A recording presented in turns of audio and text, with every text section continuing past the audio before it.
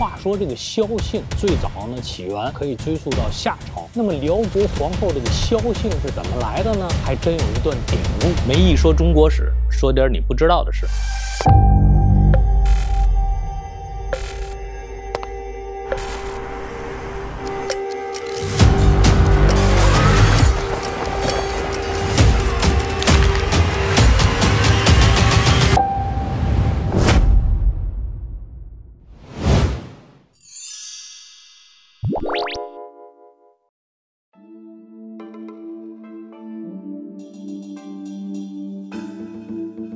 我们上一集讲了耶律阿保机他的皇后述律平，可能有些人呢，尤其是历史爱好者就会有疑惑，说起辽国的皇后呢，啊，或者是太后什么的，好像他们都姓萧，哎，怎么唯独这个述律平她不姓萧呢？确实，辽国总共有二百一十八年的历史，除了辽世宗有一位皇后是汉人，姓甄以外。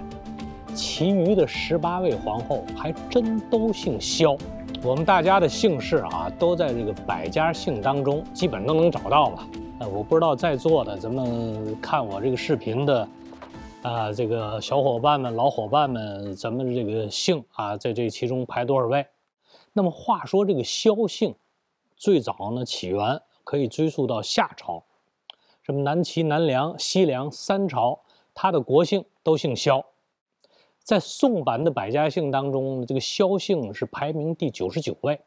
但凡看过金庸武侠小说《天龙八部》的同学，肯定都应该知道，当时那个男主角乔峰，后来就改回叫萧峰，就是因为他发现他自己身世是什么呢？就是辽国皇后蜀山大帐的亲军总教头萧远山，哎，那是他爹啊，他是他儿子，因此他就改回叫萧峰。那么辽国皇后这个萧姓是怎么来的呢？还真有一段典故，哎，我们这一节会详细讲。在详细讲之前呢，还像惯常那样提醒大家，多发弹幕，多交流。哎，梅老师会有彩蛋赠送给大家。如果我们细读《辽史》那《后妃传》，当中就有明确的记载，记载什么呢？辽太祖耶律阿保机，当时啊，他非常羡慕汉朝的。汉高祖刘邦君臣事迹，因此呢，他把自己的祖母、母族这个契丹以氏氏和八里氏，哎，这两个部族呢，都赐姓为萧姓，而他本人的耶律皇族呢，汉姓应该就是刘姓。为此呢，辽国皇后一族的萧姓，实际上是属于次姓。由此可见呢，耶律阿保机他自比汉高祖刘邦。同时呢，还认为皇后家族是非常重要的，犹如西汉时期的相国萧何啊，像那种具有非常呃强有力辅佐能力的这样的家族。我们今天讲阿保机的时候也说过，契丹部族啊，原本是没有姓氏的，数百年间都没有。那么根据《契丹国志·部族志》记载呢，契丹部族本无姓氏，为各以所居地名呼之。至耶律阿保机变家为国之后。应以所居之地名曰市里，着姓。市里者，上京东二百里地名也。那么这个记载中的上京，就是今天的内蒙古巴林左旗。市里的汉译就是耶律。阿保机在他自己的名字前面加上了耶律二字，哎，耶律也就成了契丹皇族的姓氏。由此可见呢，耶律实际上就是最早阿保机他们家的居住地的地名。既然从耶律阿保机时代，他已经给他的皇后一族啊赐姓为萧了，那么阿保机自己的皇后述律平为什么不姓萧呢？哎，一直史书就是记载述律平呢，这是因为呢，真正把后族赐姓为萧作为制度是从谁开始的呢？是从辽太宗耶律德光开始的。耶律德光呢，又是阿保机啊和这个述律平的儿子，所以辽史作者给述律平本人作传的时候呢。对他的名字就没有进行改动。实际上，述律平本人也有一个汉姓汉名，叫萧平。那么到了今天呢，这个萧姓呢，哎，也见的不是说特别多。为什么呢？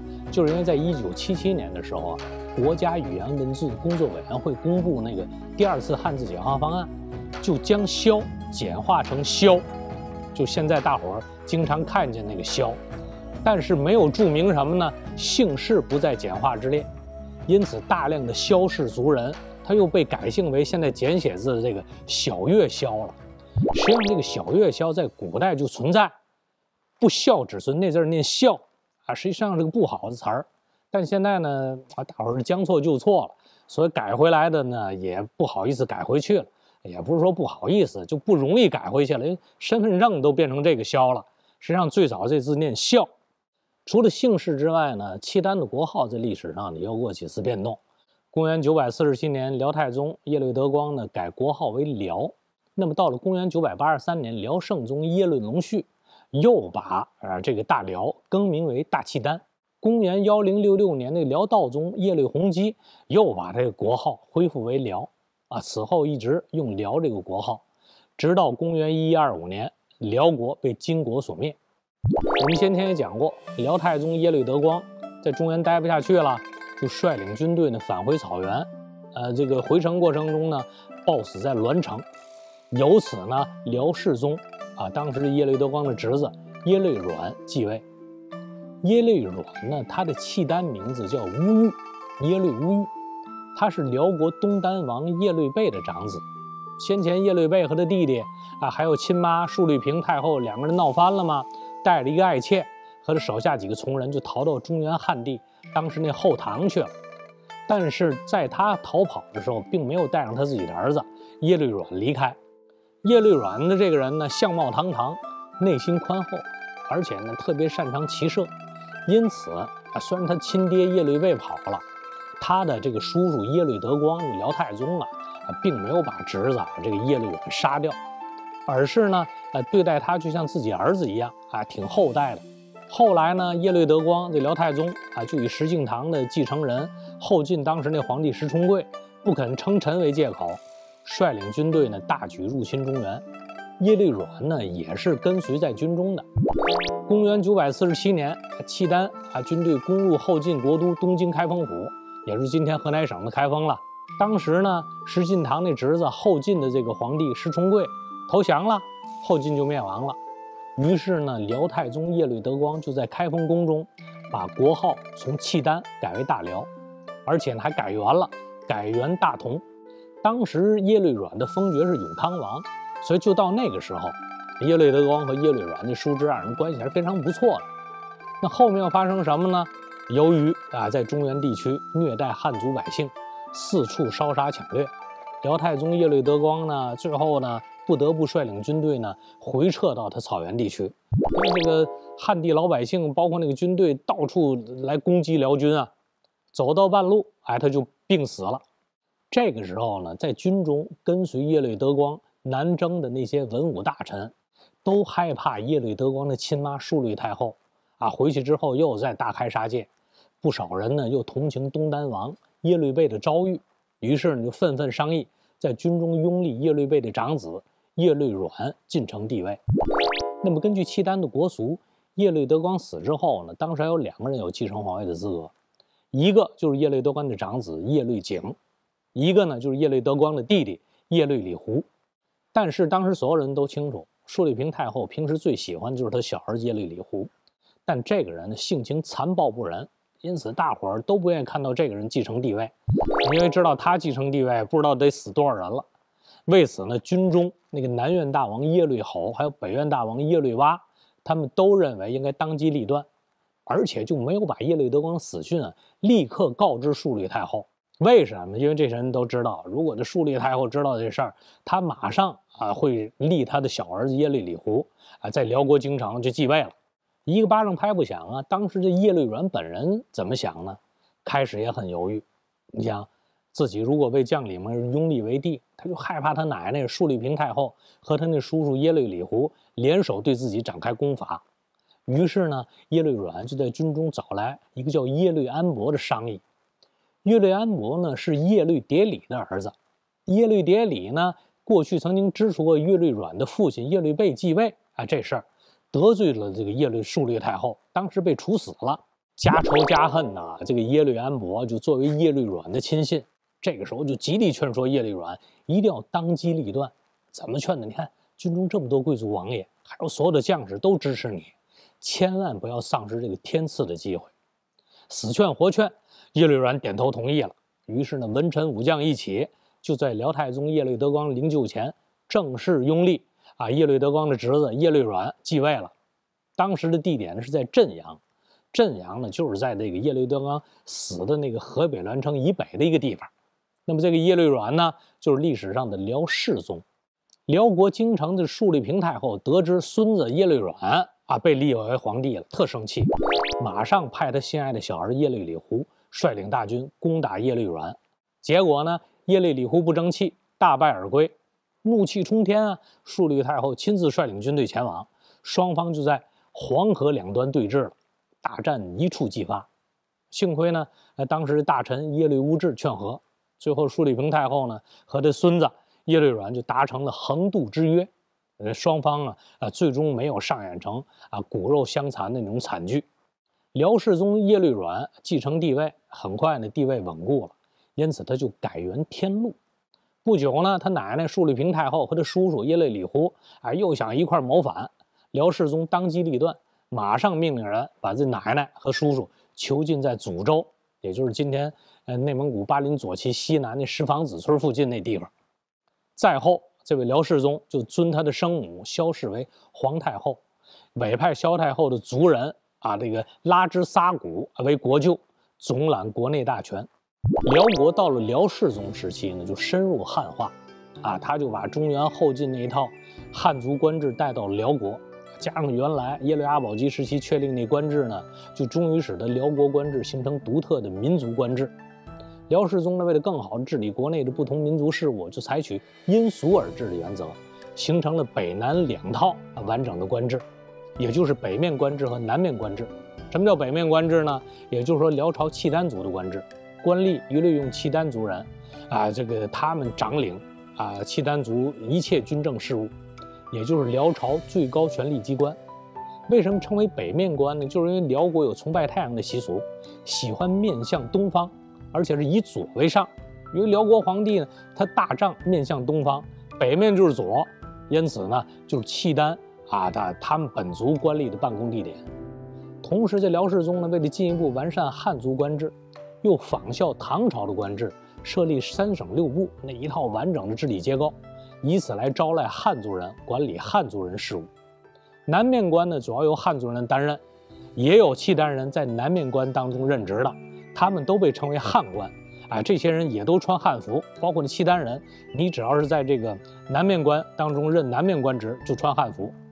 南面官呢，是由于当时他们办公的营帐在辽国皇帝大帐的南面，因此称为南面官，就在右手。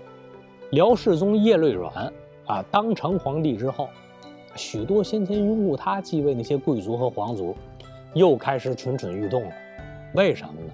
就是因为这些许多人原来和述律平太后有矛盾，等到辽世宗地位一稳定，还看到这个皇帝不断汉化，任用了好多汉人担任要职，这些守旧的契丹贵族们，他们又和辽世宗产生了新的矛盾。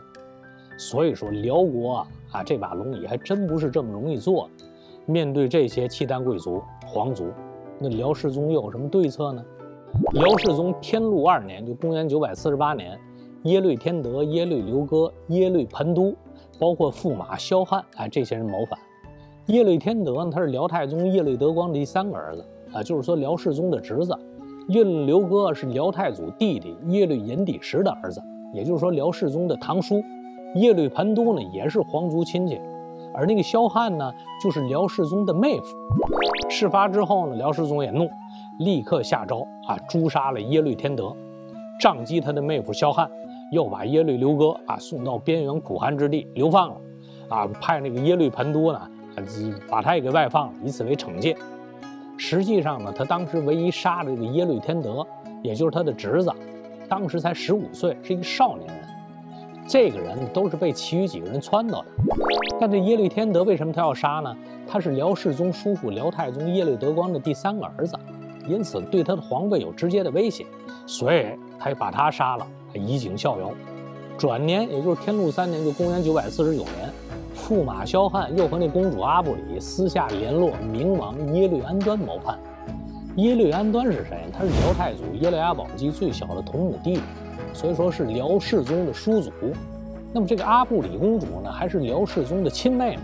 很快，这些人互相之间的这个通谋的信件呢，就被皇族宗室耶律乌质得到了，马上报告给辽世宗。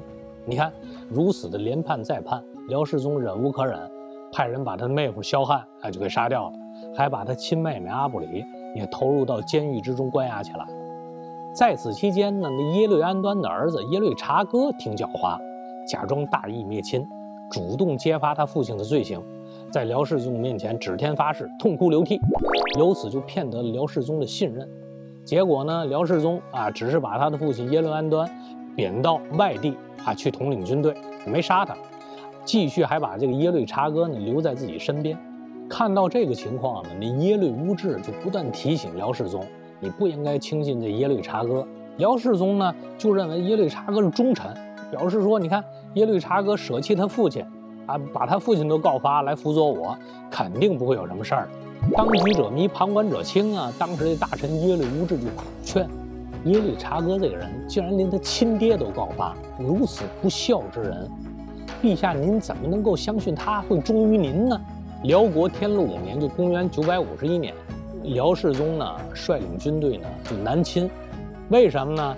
当时是和中原王朝后周为敌的北汉的小皇帝刘崇啊，这个国主他的请求，啊，他就就就要过来帮忙，因此他率领契丹军队呢就准备去过去这这打偏架去。当时不少契丹的贵族首领啊都劝他，连年征战，民力损耗很大，啊，希望皇帝您休养生息。辽世宗不听啊，强发诏令。必须啊，按期率众南下。他自己呢，就统帅自己的本部军马，啊，在九月到达归化州的响谷山。当天晚上呢，辽世宗呢就在这个火神殿一带呢，啊，这个留宿。这时候呢，契丹各部首领也都带领人马赶到这里。九月四日，辽世宗耶律阮啊，祭祀他父亲耶律倍的亡灵之后呢，就设宴招待群臣，还有各个部族的首领。这时候。一直就怀有篡世之心的耶律察哥就觉得有机可乘了，亲自去见随军的寿安王耶律书律，邀请他和自己一起起事。耶律书律是谁呢？是辽世宗的侄子，也就是辽太宗啊耶律德光的长子。岂料呢，耶律书律呢不听不从，那这事儿我可不敢干。匆忙之间，耶律察哥呢就去找谁？就去找耶律盆都。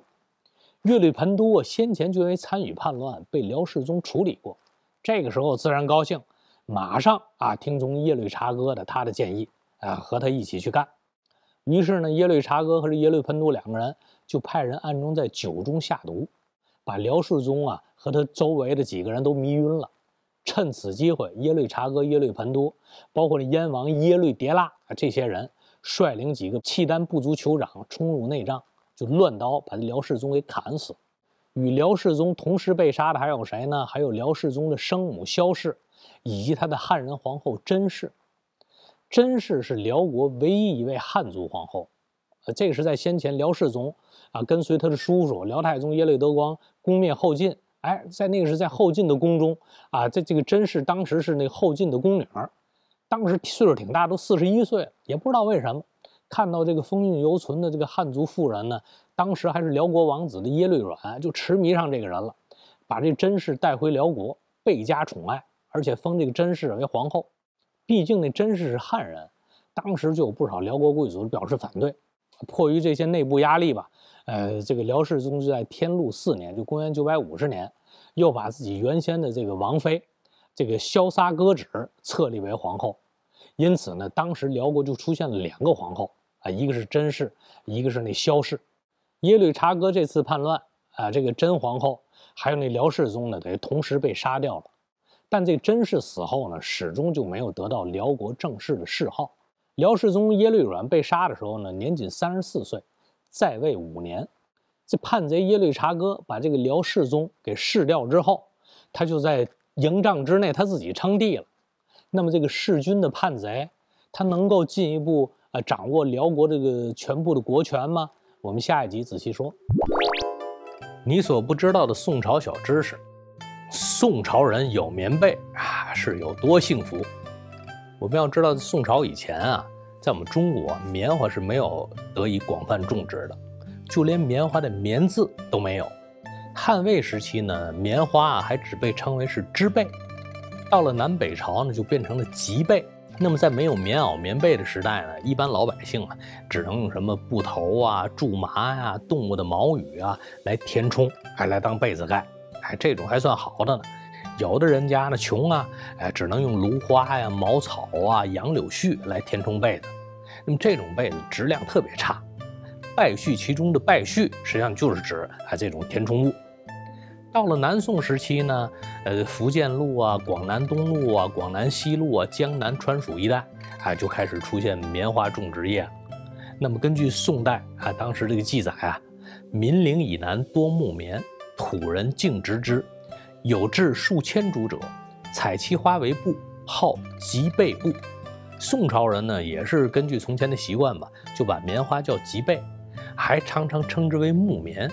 现在我们好多人看文献资料，很容易将宋代木棉啊和现代的英雄树，尤其在广东地区的那木棉相混淆。实际上，宋人所说的木棉高仅数尺，二三月下种，秋生黄花，其实熟时皮似裂，中绽出如棉。哎，看这个记载就知道啊，他所谓这个木棉只能是现在的棉花，绝对不是说的今天的木棉树。当然了，棉花这个东西啊是不能直接用的，不管是你用于纺织也好，还是用作棉被的这个填充物也好，你首先呢都得把它变成棉絮，哎，所以说这就要经过弹棉花的这这样的一个过程。许多人以为呢元明时期呢才出现弹棉花的技术，实际上在宋朝史料当中已经有了这种技术了。怎么记载呢？以竹为小弓，牵弦以弹棉，令其匀细。已经有这种记载了，也就是用弦弓，呃，把这棉花弹得松软，然后呢，呃，把它再塞进被套，啊，最后呢，就能得到柔软温暖的这种棉被了。当时宋朝的人拥有一床棉被有多幸福呢？南宋有位叫华岳的读书人，哎，他这个得到友人呃赠给他一床棉被之后呢，还特别高兴，呃，所以说他就写了一首诗，其中有这么几句：一床浪卷芙蓉奏。十幅香重锦绣开，不怕夜寒侵斗帐，却愁春梦到阳台。哎，所以说他当时得到呃那一床棉被的快乐，绝对是超出我们今天的想象。没一说中国史，说点你不知道的事儿。我们下次见。你的热爱正在热播。